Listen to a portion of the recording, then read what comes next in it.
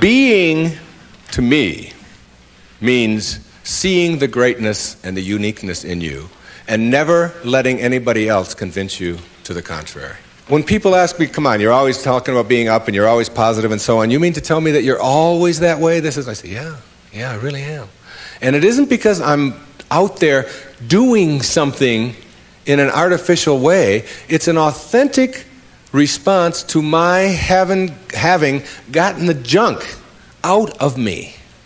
And the junk is the way that I used to think, the way that I used to think. Think for a moment, if you can visualize right here, a clock, a big clock. And the hands on the clock go from 1 to 12. The clock starts right out here with the minute hand, and it goes over towards the 3, the uh, hour hand, minute hand. And that's the time in your life when you are moving away from yourself, from your true self. That's the time when you are trying to put other people down trying to prove that you're bigger and better than somebody else, trying to make yourself right all the time, as opposed to uh, being with somebody else. It's like you're moving away, and a lot of people spend a lot of time moving away from their true self, because your true self is this little child, is this beautiful little child inside of you that has only love and acceptance for everything in the world, and no dis-ease, no absence of ease. You move away towards the three, and then you move down here this way, and you're still moving away from yourself until you hit the six. The six is the point in your life, symbolically, metaphorically here, when you are the furthest away from yourself that you can be. It's the low point in your life. It's the point where very, many people break down, or many people break down their relationships, or they, they feel full of despair, they feel full of hatred, whatever it may be. And a lot of people die then. A lot of people are put into hospitals then. A lot of people have to really seek out therapy then and so on. And when you're at that sick.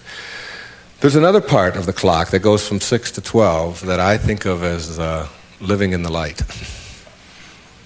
And this is when, and see, this clock hand never can go back. It can't go back. It can only go this way. It only goes this way, as does life. It only goes this way, forward. In this period, this place between 6 and 12,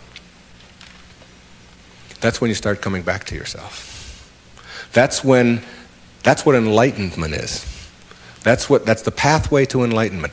When you send out that stuff that is destroying you, that is killing you in one way or another, and you move yourself back over here, and eventually you get yourself all the way back. This is the light over here. This is the place where you can't go back. You'd be tempted. You might be tempted to steal. You might be tempted to, to, to use anger. You might even slip a little bit, and you catch yourself. I can th- just not too long ago. There was uh, we, we we got a problem with our sprinkler at, at uh, Uh, in my home. One of the sprinkler heads is off, and if you ever seen that happen, you get a gusher going up there. And I've been wanting to get that thing replaced for the longest time. And I'm walking out of the bank, and there's a sprinkler head right there in, in, front of the bank. Now, I practically own this bank, okay? So I'm going to go there every day, and I do a lot of business with this bank.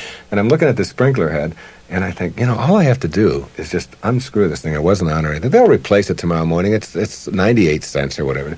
So I actually get down there, and I, and I start turning the sprinkler. And then I start thinking, do I want this karma? Do you know? Do I want the? Do I want to steal? Do I want to take? I know it's only a ninety nine, and if I went into the bank, they'd probably give me one anyway if I asked them.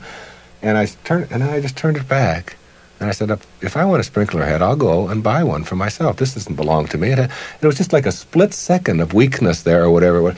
But it illustrated to me that I can't go back there. I could never. And there was a time in my life when I could have done that. I can be absolutely frank with that. I could do that. Uh, I can't go back there anymore. That's where you start. That's the place to start. Because when you get all of that out, when that's all gone, and I mean gone, and it only comes about as a result of the way that you think, so it's just changing around your approach to life, the way that you think in life, when that starts to go away, what you've become filled up with is what your natural self is, which is this loving, accepting, uh, not fighting the universe, but instead living in it and going with the flow and all of the kinds of cliches that you've heard a thousand times. It is, that's the metaphor there. And you see, every time you try to go back, can't do it. You can't do it.